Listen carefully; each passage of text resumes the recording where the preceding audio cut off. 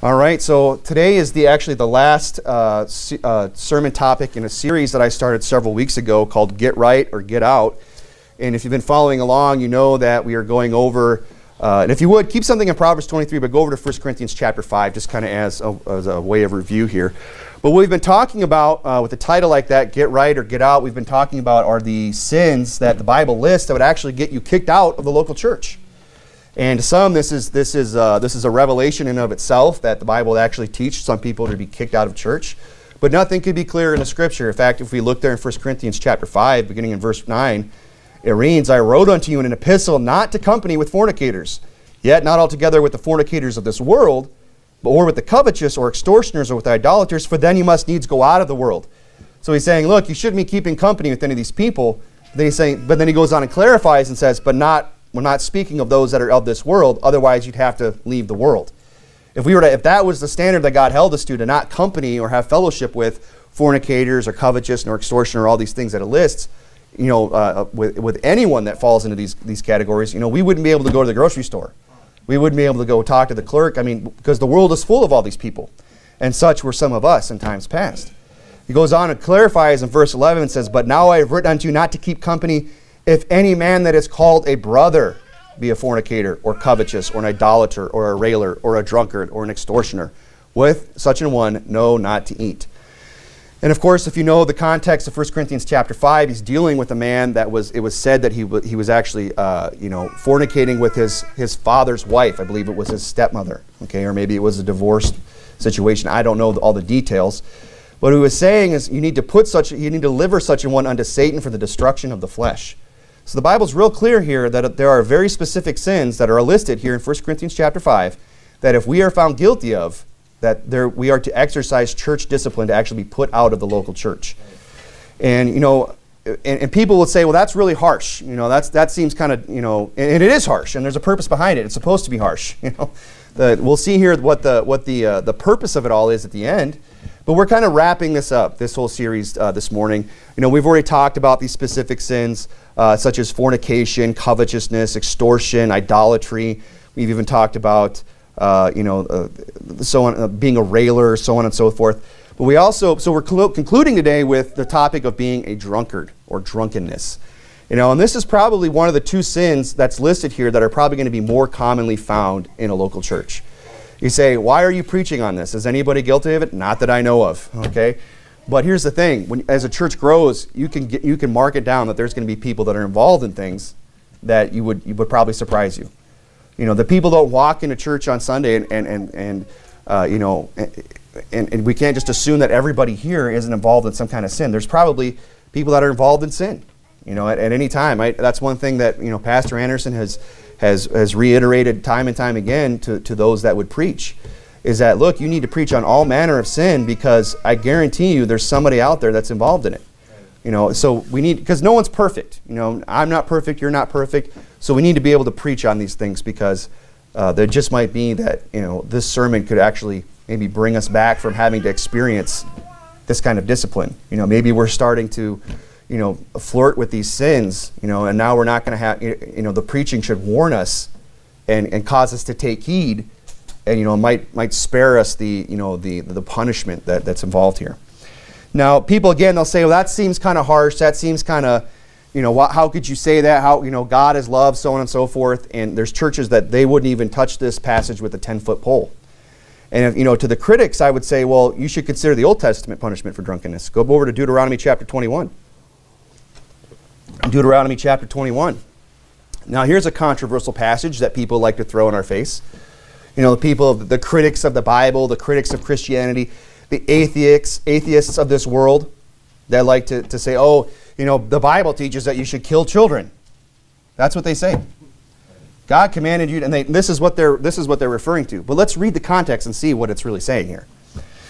It says in Deuteronomy chapter 21, verse 18 If a man have a stubborn and rebellious son, you know your son will always be your son no matter how old they get? You can't just read son and instantly think child, okay? You know, I'm still somebody's son even though I'm 39 years old today. You know, I didn't stop being a son just because I became an adult. This passage is referring to an adult, and it's very clear when you see this here. which will not obey. He says, If a man have a stubborn and rebellious son, which will not obey the voice of his father or the voice of his mother, and that when they have chastened him, will not hearken unto them. So here you have uh, some parents that are at the end of their rope with, uh, you know, probably a young man. It says in verse 19, Thou shalt his father and his mother lay hold on him and bring him out unto the elders of the city, of his city, under the gate of this place, and they shall say unto the elders of the city, This our son is stubborn and rebellious. He will not obey our voice. He is a glutton and a drunkard. Now, right there, that's how I know it's referring to an adult. Because it's referring to an adult, uh, uh, you know, a, a, glutton and a drunkard. You know, I'm not, I don't suspect that my son, Corbin John, here, at any time, I'm going to come home and find him tipping back a 40 or something like that. you know, telling me off and, and, and, and just pouring himself another round of, you know, Jack Daniels or whatever at the kitchen table. You know, being a drunkard is something that's reserved for people who have grown in age. They've come to a place where they, they are capable of this type of thing. now, the gluttony part, you know, maybe I could, if I put enough fish sticks in front of him, he might just, the tater tots and things like that, he might, he might get carried away, but, you know, we'll spare him that, okay? He's a good boy. But, uh, you know, that's why I know this passage is talking about an adult. Okay, and, it, and it's talking about, and this is a very severe set of circumstances. Mom and dad have come to this young man.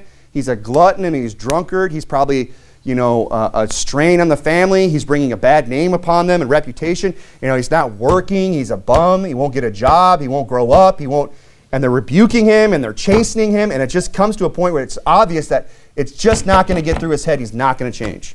So the Bible has a prescription. You know, and before you criticize a church that would say, "Hey, we got to kick out the drunks," I mean, let's consider the prescription that's that's given out here in First or uh, Deuteronomy. Look at verse 21. And the men of that, and all the men of that city shall stone him with stones, that he die. I mean, God says, let's put the death penalty on this person.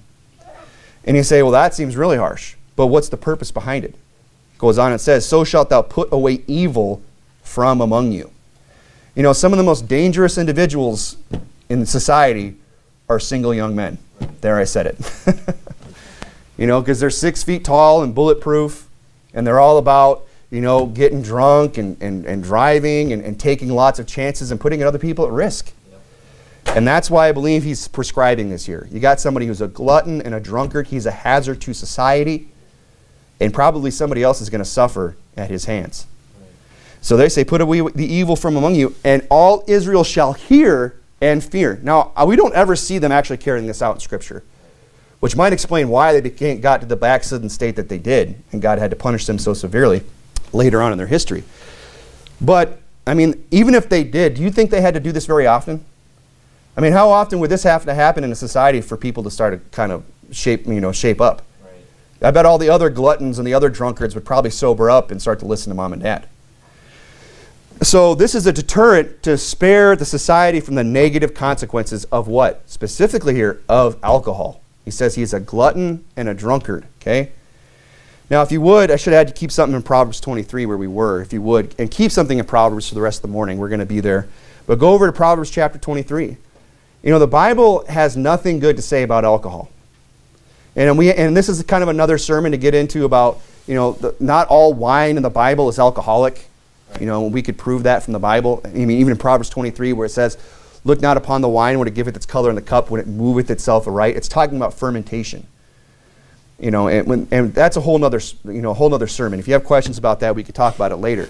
But what we're talking about today is, is the, the, the fact that being a drunk is something that will get you kicked out of the local church. And why is that? Why does God have such negative consequences both in the New Testament and Old Testament for those that would be drunkards? because nothing good is going to come in your life because of alcohol. Okay?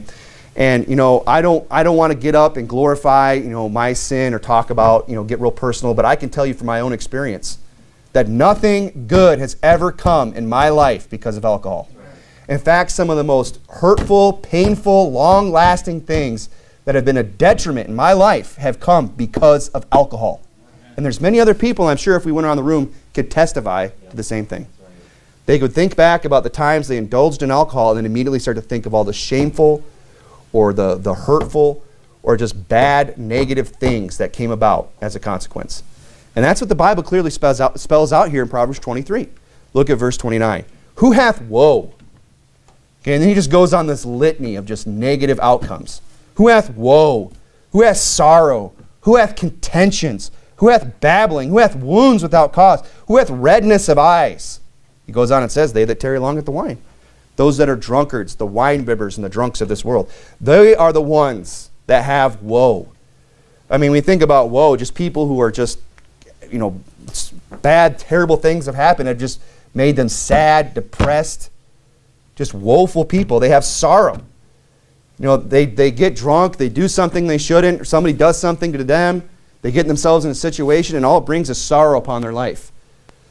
Uh, you know, the, the, the, the dad turns into a drunk and starts, you know, abusing the wife and mistreating his family. That brings sorrow into a person's life. I mean, you don't even have to be the one drinking the alcohol in order for it to bring sorrow into your life. You could just be the, you could be the child of a drunk. You could be married to the drunk. You know, you could be the person who just went, was going about your business and got on the road with the drunk and shared the road with the drunk by no choice of your own, and sorrow was brought into your life through the car accident, through all the different things that alcohol brings. Who hath contentions? You know, who has the bar fight? You know, who has the, you know, the, the going out and picking a fight with people? You know, uh, who, who has the guy missing teeth and cracked ribs because he got drunk and got pulled out back and, and beaten? You know, I know people like that that are missing teeth because they went to a they went to a bar, got drunk, got you know got lippy with the wrong guy or group of guys, and just got kicked while he was down out in some alley somewhere. Who has that? Who has all these things? They that tarry long at the wine, the drunkards of this world. Who hath babbling? You know that's probably the least. Uh, you know, uh, that's probably the most tolerable consequence of being a drunk or being around a drunk is the babbling, right? I mean, the woe, the sorrow, and the contentions, those are very bad things. But even just the babbling of a drunk is enough to drive a person insane. I mean, drunk people are the most annoying people to be around. There, I said it. And the drunker they get, the more obnoxious they are. I mean, that's why when I was, I had a season where I drove for Lyft, you know, the, the ride share. And uh, I did that for a few months, and very quickly I determined I'm not picking up anybody after 10 a.m. or 10 p.m. Because at 10 p.m., you know, you will pick up somebody, you know, you start picking up people at the bar, and they're a little, they're just a little buzzed, and then you know, they're like, okay, I can tolerate that. You know, they still have their wits somewhat about them. At least they have enough good sense to actually call for a ride. But then you start, you know, after that, like every hour that went by, they just got drunker and drunker and drunker. And then by like 12, 1, 2, I mean, you're picking up people that are just talking really loud in your car and having a conversation and just blah, blah, blah, blah. And it's just the whole way to the house or wherever you're taking them. Oh, can you stop here? Can you, you know, just adding stops and just doing that. And I just said, I can't take this. You know, the, the drunks. It's the babbling. You know, being around drunk people just blah, blah, blah. And I could talk about other times we've uh, talked about or ran into that. Anybody who know who's run into drunks, you know, that's why people, if you're going to be around a drunk, you have to get drunk. It's the only way you can tolerate, tolerate being around that nonsense that comes out, just the babbling. who hath wounds without cause? You know, people who wake up and they don't even realize, why, why do I have a black eye? How did I, how did I miss these teeth? Oh man, how did I get that cracked rib? Why is my knee twisted? You know, who has wounds without cause? You know, they went out and, and, got drunk and they can't even remember, you know, uh, what happened to them. I remember, I remember I had a friend who got drunk. He was this close to just throwing, literally just hanging onto a door jamb, ready to throw himself down a flight of stairs, just by his fingertips. And I'm like trying to talk him back. I'm like, no, don't do this. What are you doing? And he was ready to just throw himself headlong down a, a set of stairs because he was drunk. Lost all good reason.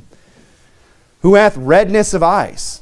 You know, think about the, the, the different, you know, physical attributes that come with being a drunk you know, the red eyes, the big nose, the beer gut, so on and so forth. All, you know, the, the cirrhosis of the liver, all these damaging things that alcohol does to your body. I mean, I've known more than one person who ha- has, you know, was told, look, if you continue to drink, you will die. It will kill you. Your liver is, is shot. You can't continue to drink.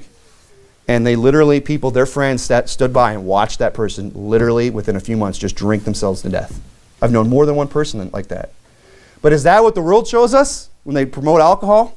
Is that what they're going to show you on, uh, you know, on, on the television and in the magazine and so on and so forth. Is that what the Bacardi commercial is all about? No, they're going to show you a bunch of babes and a bunch of hunks just partying, having a good time. You know, nobody's, you know, no consequences. They're not going to show you the next day. They're not going to show you the hangover, you know, or, or whatever else can happen when people are, are getting themselves intoxicated. That's why he goes on and says in verse 31 Look not upon the wine when it is red. He says, Don't even look at it.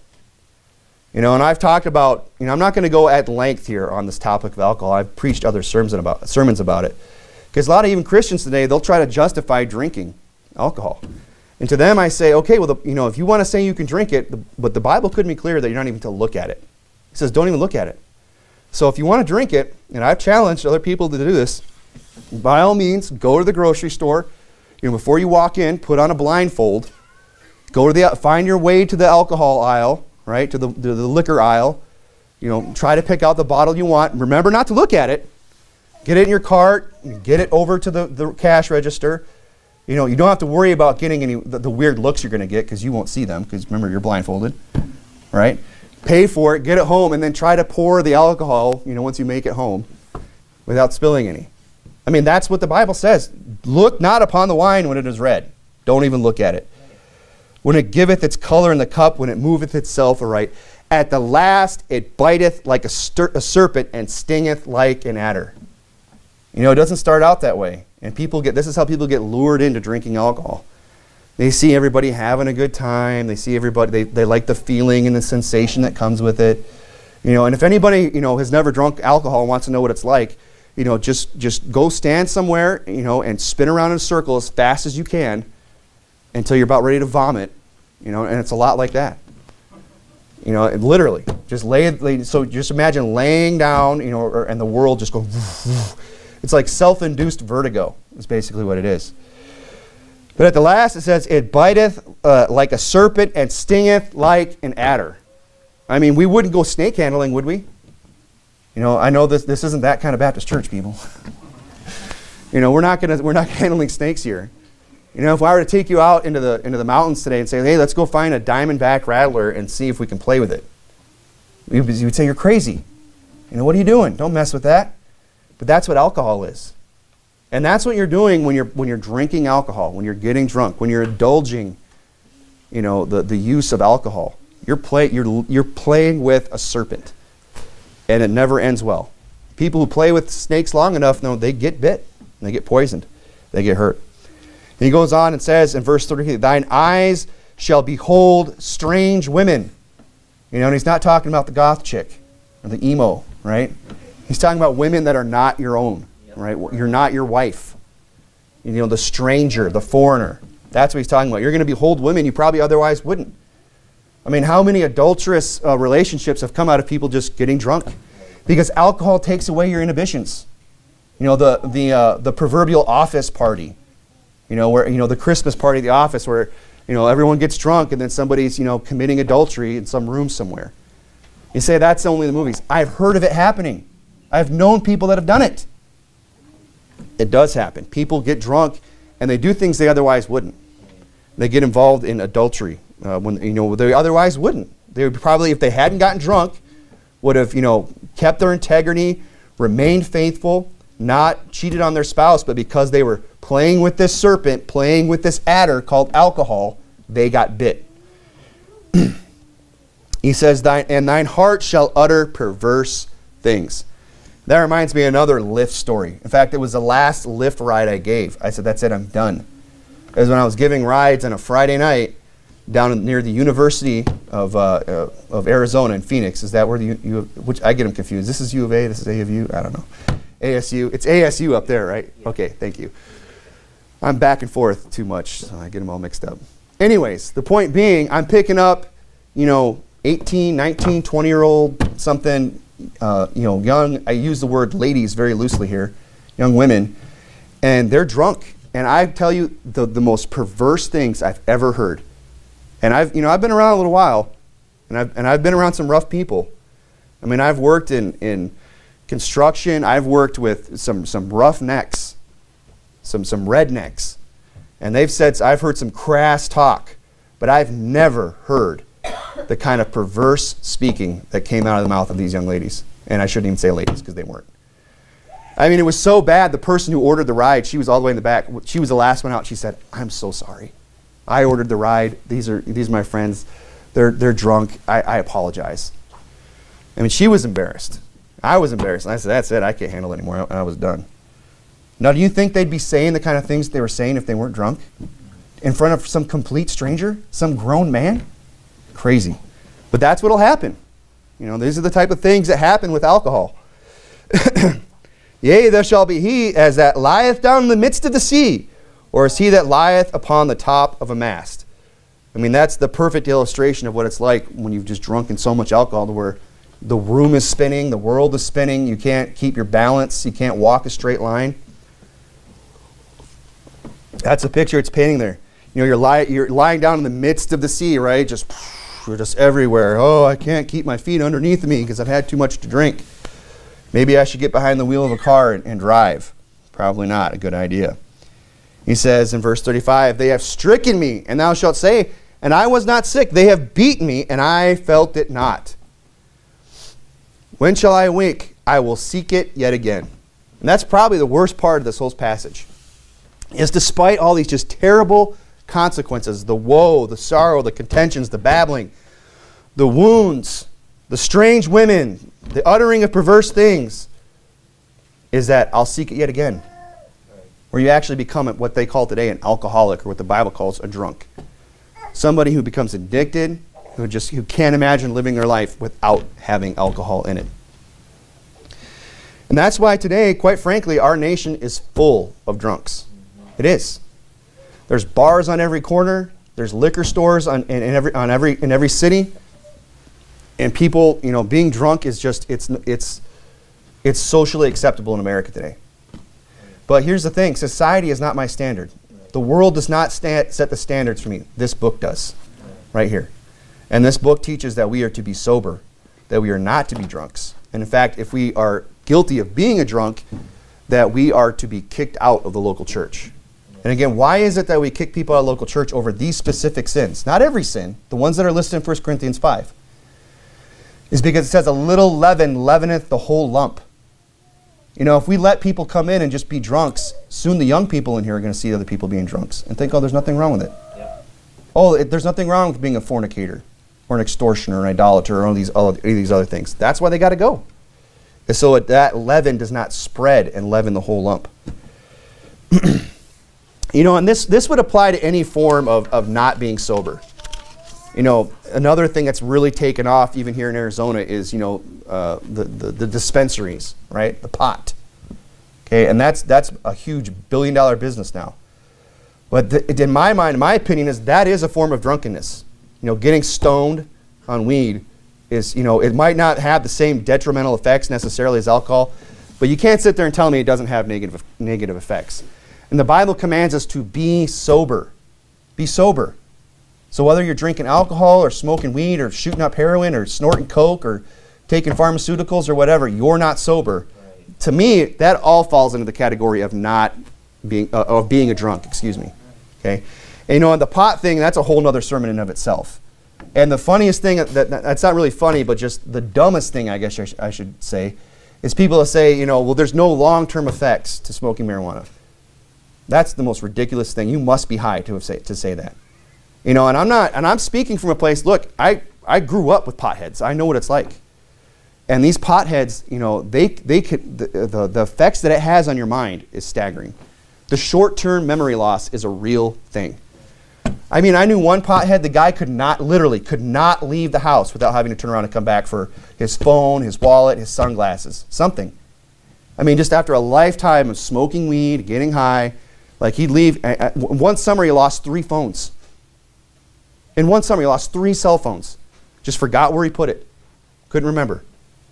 And I even remember, uh, you know, my mom. She was trying to scare us straight. You know, she took us to this this seminar on weed at the hospital, and the doctors, where they got up and they explained what THC actually does to your your brain cell, because THC clings to fat, and you, every one of your cells is surrounded by fat, and uh, including your brain cells. Okay? So the, the, the chemical in pot, you know, I don't, I'm not a chemist up here. I don't know all the technical terminology, but the gist of it is this that your brain cells have these nice, they have what's called brain synapses. And those are the things that fire from one brain cell to another and help you think. And, and you know, that's what helps with your cognitive processes, is the firing of these brain synapses from one cell to another. And in a normal human brain cell, these synapses are lined up very nice and orderly, and they shoot out very easily. But when people start to smoke weed, it actually, the fat clings to that cell and it disrupts those brain synapses. And you look at it under a microscope and they're just all jumbled up. They're not nice and they're, they're tangled with one another and they have a harder time firing out. That's why, you know, whenever we talk, you know, uh, we're out soul winning or if we've been around people that are high, you'll be talking to them and you'll, you'll ask them a question. You can just see it like slowly processing that you even ask them, like they're just not even there sometimes. But that's, again, that's a whole other sermon. The point being, the, the point of this sermon tonight, or this morning rather, is that we are not to be drunks. That the Bible commands us to be sober people. And it's not because God's just trying to, you know, God's a downer. You know, God's just trying to bring you down. God's just trying to cramp your style.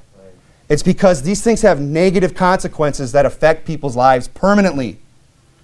And, you know, the, the world wants to cast this spell on everybody and make everything, everybody think that, you know, there's no consequences for, for partaking in these things, but there is. now, if you're there in Proverbs 23, look at verse 15. My son, if thine heart be wise, my heart shall re- uh, rejoice, even mine. Yea, my reins shall rejoice when thy lips speak right things. Let not thine heart envy sinners. You know, that's probably where a lot of people start when they uh, uh, start to, uh, how they become a drug addict or a drunk, is they envy sinners. They say, "Oh, it seems like they're having a good time. Boy, they're having fun. Why can't I do that? Let not thine heart envy sinners, but be thou in the fear of the Lord all the day long. For surely there is an end, and thine expectation shall not be cut off. Hear thou, my son, and be wise, and guide thine heart in the way. Be not among winebibbers, among riotous eaters of flesh. For the drunkard and the glutton shall come to poverty, and drowsiness will close a man with rags. I mean, we see that all around. The drunkards that are, and the gluttons that are come to poverty and that have been clothed with rags. Have you ever stepped? I mean, I remember I used to walk to work, you know, and I'd have to, every day, almost practically, I'd have to walk around this guy who was just laying in his own vomit, laying in his own piss, because he just had gotten so drunk that he couldn't even pick himself up off the ground anymore. And everybody in the neighborhood knew who he was. And eventually that guy, and they, they, it was like, he, I noticed for a few days, I'm like, man, this guy's gone. Maybe he sobered up. And then I found out later, no, he died. Yeah. Finally just drank himself to death. this, is, this is where it leads. Maybe not everybody, but do we really want to roll the dice? Look at Proverbs chapter 31. Proverbs chapter 31. The Bible has nothing good to say about alcohol. There's, no, there's not one positive mention of it. Everything it says is negative. It casts it in the worst light possible. Proverbs chapter 31, look at verse 1. The words of King Lemuel, the prophecy that his mother taught him. What, my son, and what the son of my womb, and what the son of my vows? Give not thy strength unto women, nor thy ways to which destroyeth kings. It is not for kings, O Lemuel. So he's saying, look, don't give your ways, uh, your strength to women. And He's talking about don't be a whoremonger, don't be. A, he's not saying don't get married, okay? Because notice there it says women right? It's okay to give your strength to a woman in marriage, okay? I gotta clarify that because I've, I've heard people get this, mis- you know, I'm just gonna be like Paul and stay single for my whole life because I'm not gonna give my strength to women. Like, you don't understand what that verse is talking about, apparently. It's, anyway, that's a side note. But she's saying, look, don't give, your, don't give yourself, don't be given to those things which destroy kings. Now, kings are mighty men. Kings are men that have great power and strength and ability. They're nobility. They're, they, they, you know, they have, uh, they're not somebody that's taken down easily. But there are things the Bible's saying that will destroy them.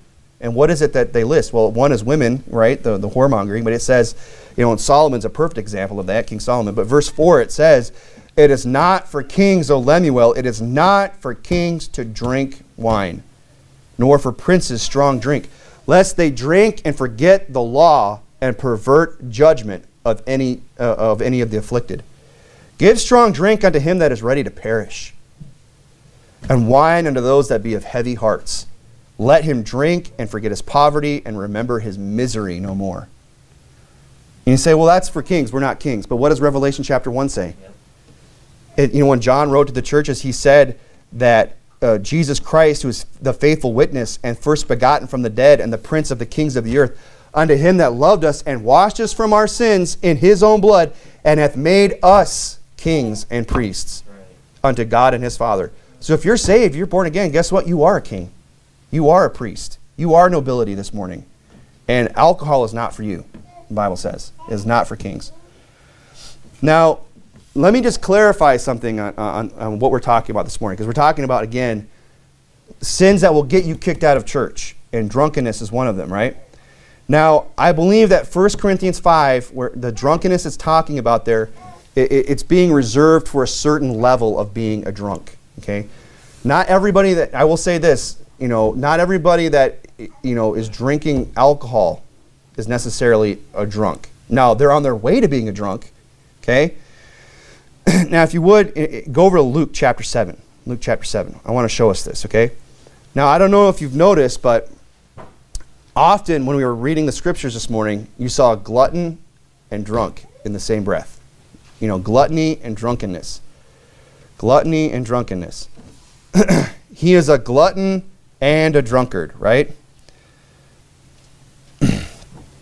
and even they, you know, when they falsely accuse Jesus in Luke chapter 7, look there, it says in verse 34, the Son of Man has come eating and drinking, and they say, Behold, a gluttonous man and a winebibber, a friend of publicans and sinners.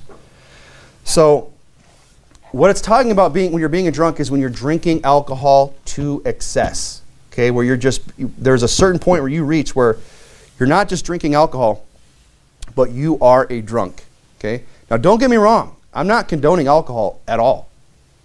But we don't want this, to, we don't want to happen when you preach on these type of things is for people to, you know, start insisting you know, that we throw people out because you know they were over at their house and they noticed that there was an empty beer can in a trash can or something. You know, they don't come to church drunk, they hold down a job, you know, you wouldn't know they even drank. Okay? But we see some kind of evidence that maybe they drank and all of a sudden it's like we got to kick them out. No. Okay? That's I, I'm trying to temper that. We don't want to get carried away with this, all right? You know, if somebody's, you know, so the question then becomes, well, what's the test of whether or not somebody's actually a drunk? And this is a gray area. You don't have to agree with me on this, okay? But you know, we I have to think about this because you know the church is the one that would have to enforce enforce this. And you know, Pastor Anderson, you know, he's he has his standards, and I agree with these that these are the tests of being a drunk. Okay, when do you when do you cross the line from being somebody who again who drinks alcohol, which again the Bible condemns and is a sin that needs to be repented of. Period. Okay, but you cross the line where it's not just you're drinking to now where you were actually a drunk. Okay, here's one test. How about you drink often or on a regular basis? You know, if you're drinking every day, you're drunk. If you cannot, if you cannot go throughout through a day without getting without drinking, you're drunk. That's that's my opinion. if you can't have a good time without drinking alcohol, you know, you're you're drunk or you're boring, or both. Okay. Uh, drinking, how about you drink less often? Maybe I don't drink every day, but every time I drink, I drink to an extreme degree. Every time I drink, I'm just getting completely, I'm blacking out drunk. No, I don't drink every day. In fact, I don't even drink one, I don't even drink every week. You know, but when I drink, I drink. You know, that's you're a drunk. If you're if you're getting drunk to the place where you can't even remember what happened, you're completely blacking out. That is a sign of being a drunk. How about this? When you're mixing drugs with alcohol. When you're saying, "Well, I'm only drinking a six pack, but I'm also downing some pills to help amplify the effects." That's drunkenness.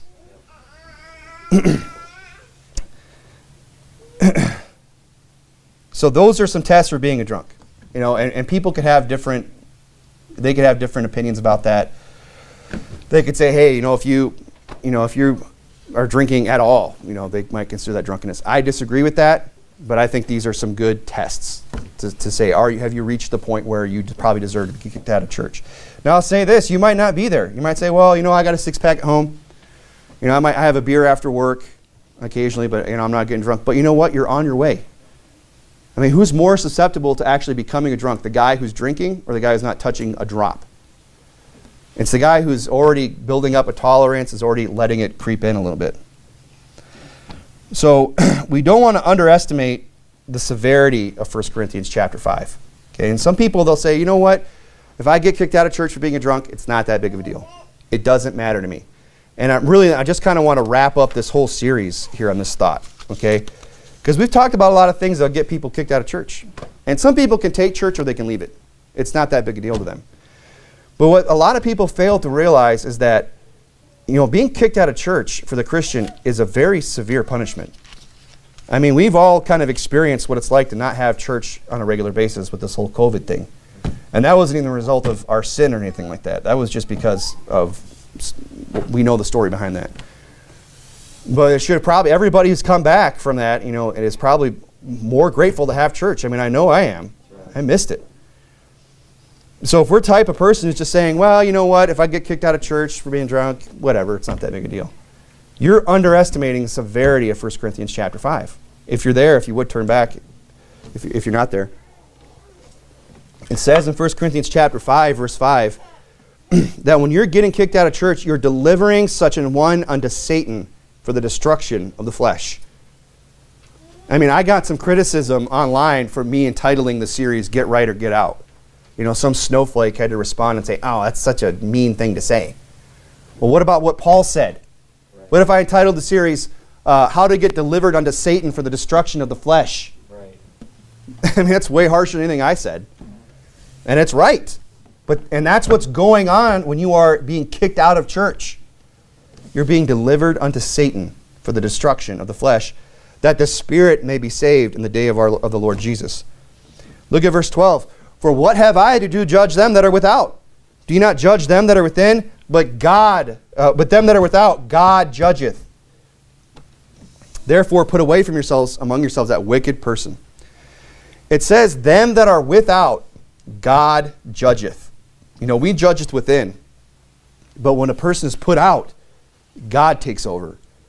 So people get kicked out of church and they think, oh, that's the, my chastisement's over.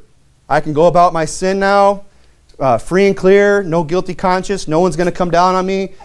I'm not going to have to go to church and hear the preaching about it. I'm not going to have to get convicted about it. No one's going to confront me about sin in my life.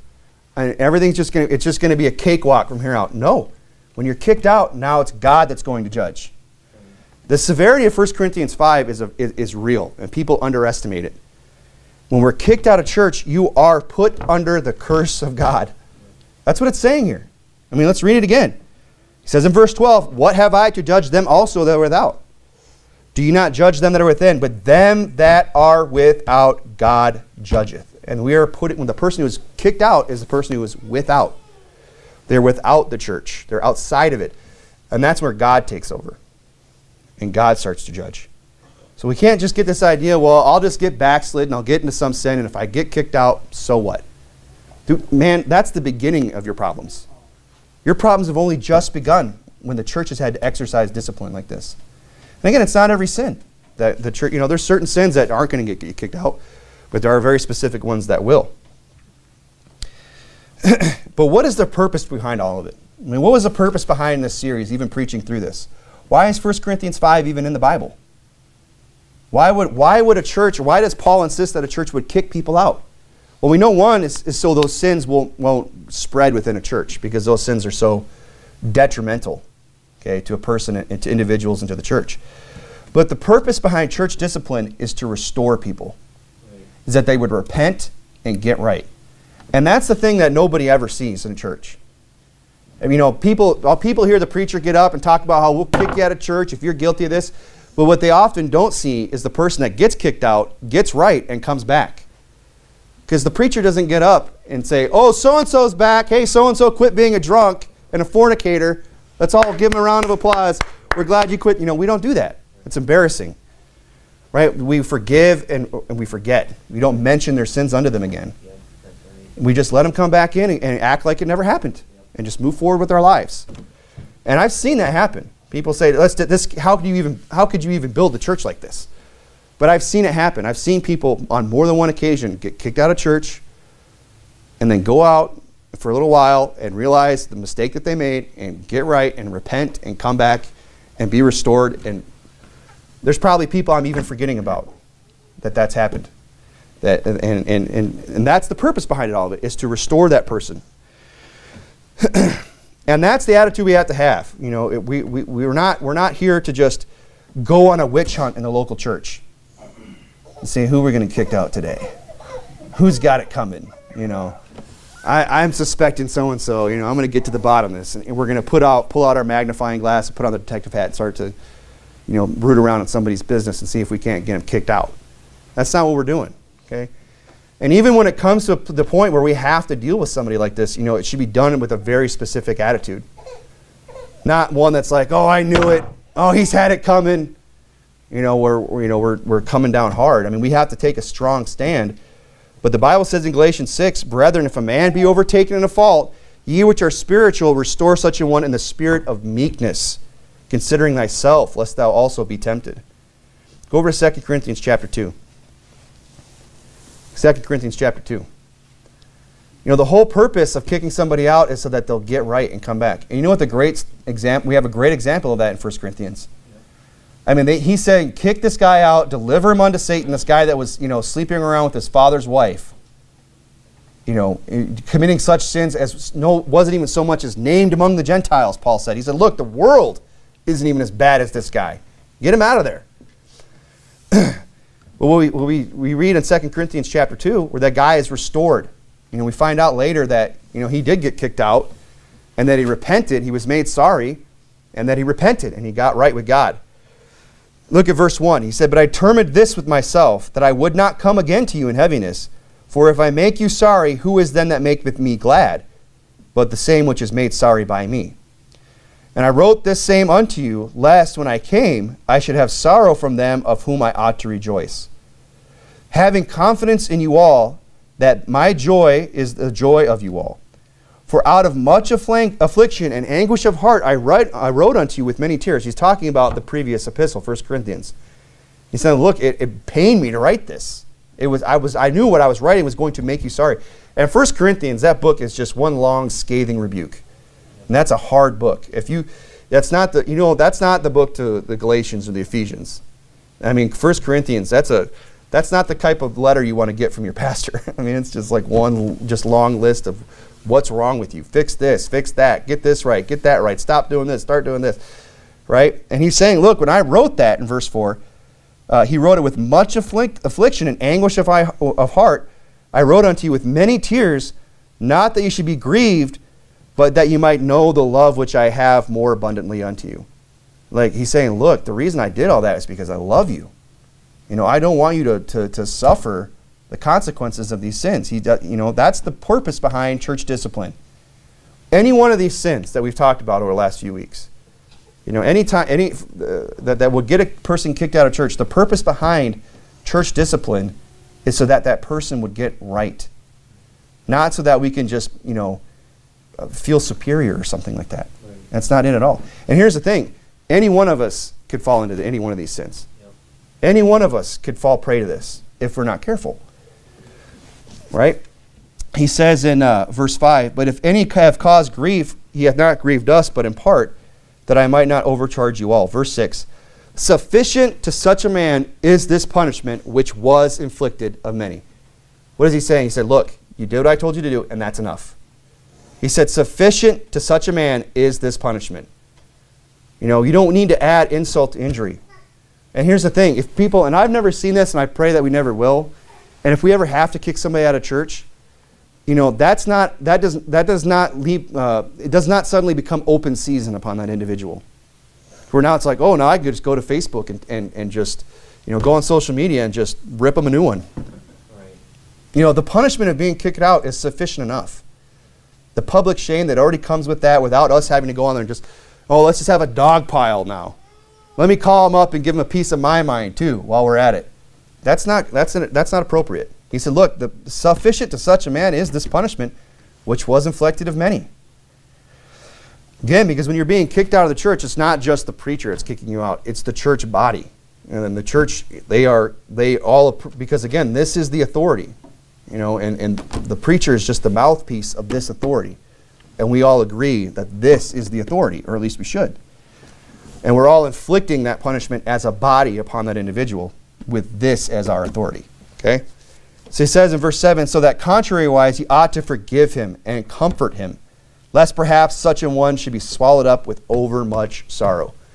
What is he talking about? Look, when a person gets right and, and comes back to church and gets, and, and, and gets that sin out of their life, you know, you ought to forgive him and comfort him, lest he should be so over, uh, swallowed up with overmuch sorrow. You know, there's probably people out there that have gotten kicked out of church and they want to come back and they've even gotten the sin out of their life, but they're just too afraid the way they'll be treated when they come back.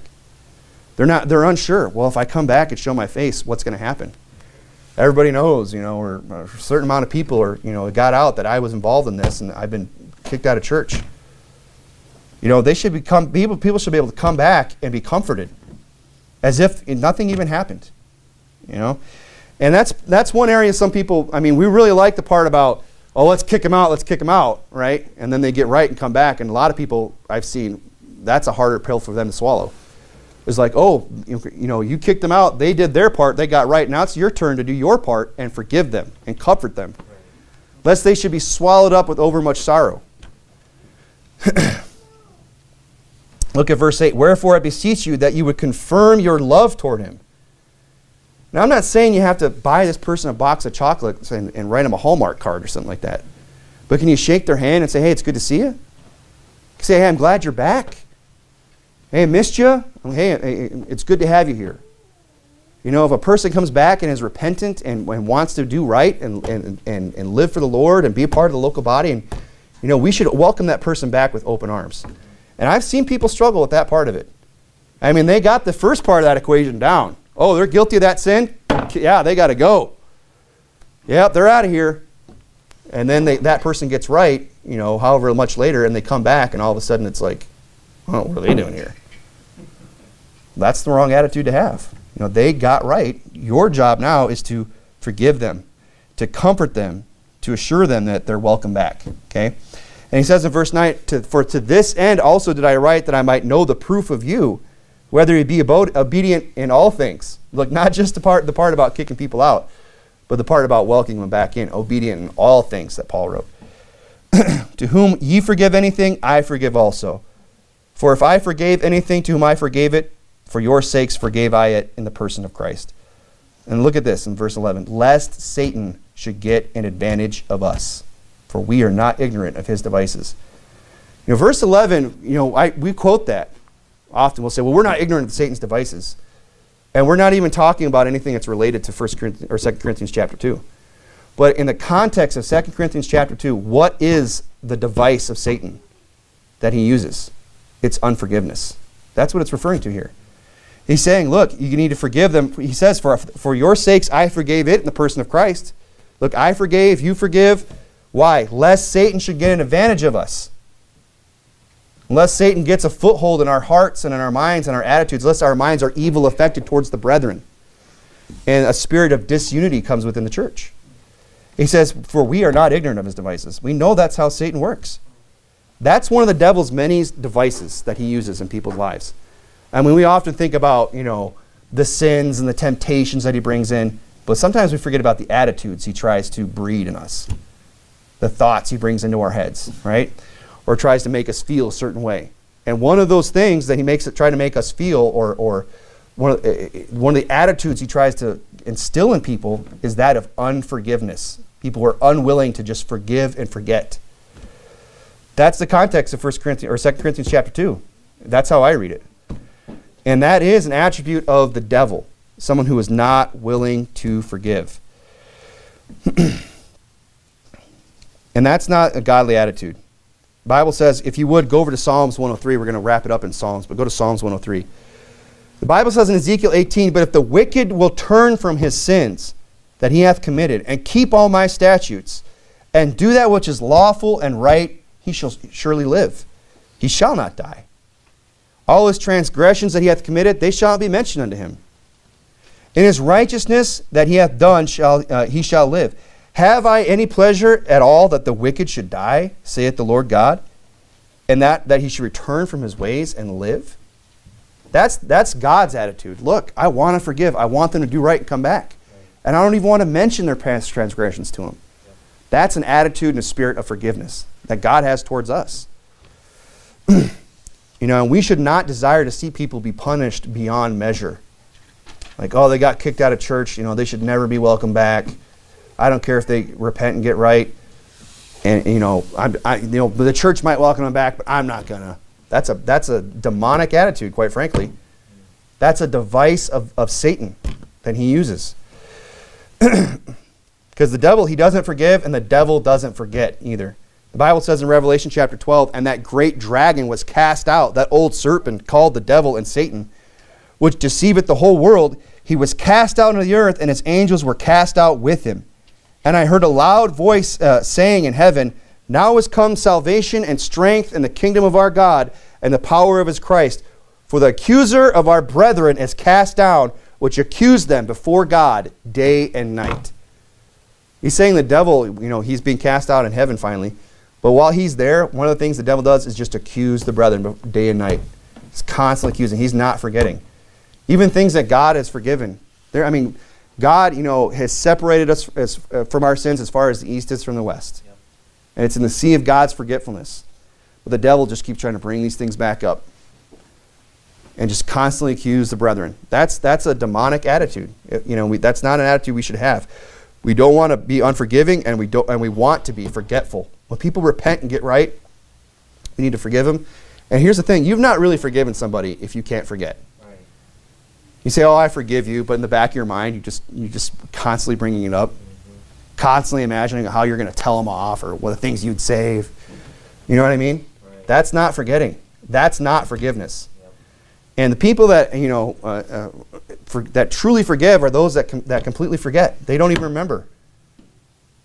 You know, you, you, come back up to them later. Hey, you know, I know I said I'm sorry once, but man, it just it's still bothering me. I, I just want you to know I'm really sorry. They're like, what are you talking about? Oh, that? Oh man, I didn't even think about that. I've totally forgotten. But what are you even talking about? We should forgive and forget. Look at Psalms 103, verse 8. The Lord is merciful and gracious, slow to anger, and plenteous in mercy. He will not always chide, neither will he keep his anger forever. I mean, God gets mad. We know that. You know, God gets angry, God chastens, God disciplines, God, you know, has rules. And when they're broken, there's consequences. But he's not angry forever. He hath not dealt with us after our sins, nor rewarded us according to our iniquities. For as high as the heaven is above the earth, so great is his mercy toward them that fear him. As far as the east is from the west, so far hath he removed our transgressions from us. Like as a father pitieth his children, so the Lord pitieth them that fear him. You know, we should show pity to people.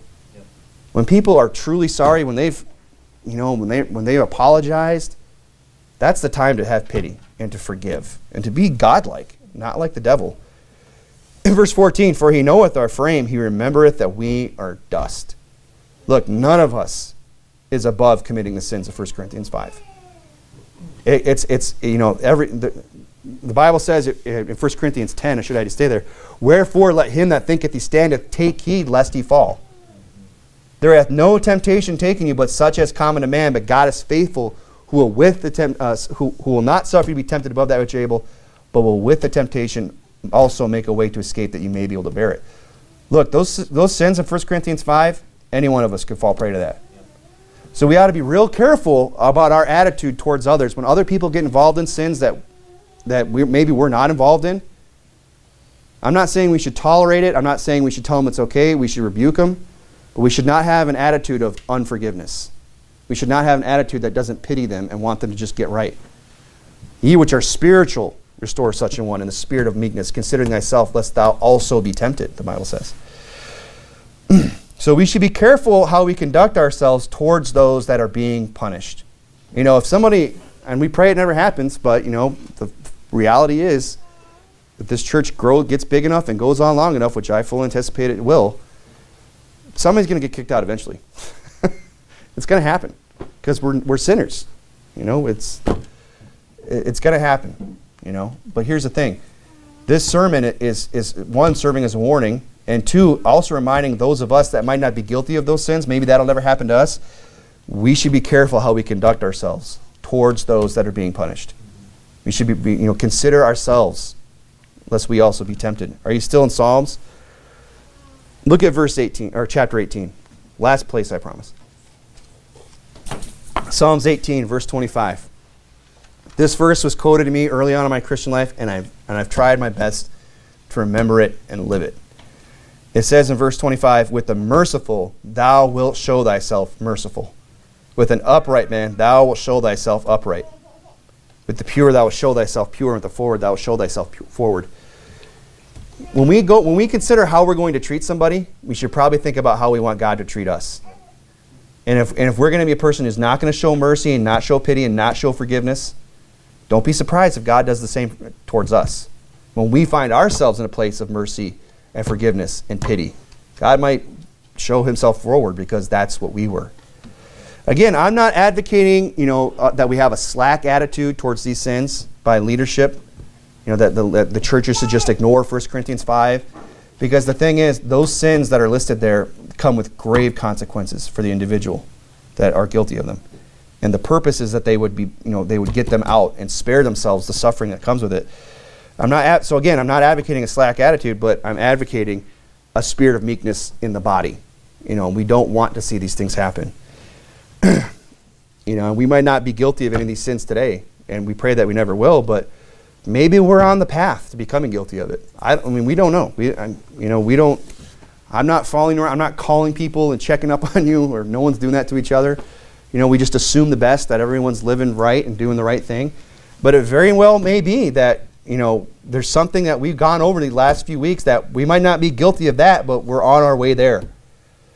You know, maybe we're not a drunk today, but there's prob- maybe there's a bottle or two we need just to go home and, and pour out or, or maybe there's just uh, you know a place we need to quit frequenting. We may be on the path. So again, you know, and I, and, and I hope this series was beneficial. You know, I, I, I think it was important to go over it just kind of as a preventative maintenance type of thing. And, and, and I don't want it to be perceived as, you know, some kind of chest thumping. You know, this isn't, this isn't me kind of trying to get up and say, hey, you better recognize the authority of the church. And, you know, that's not what this is. What this series has been is, you know, a fair warning. It's a fair warning of, of a biblical teaching that, quite frankly, has gone out of style in a lot of churches, which explains why they're overrun with sin. And, you know, and, and, the, and the warning is that, hey, we need to get right or we need to get out. And let's go ahead and pray.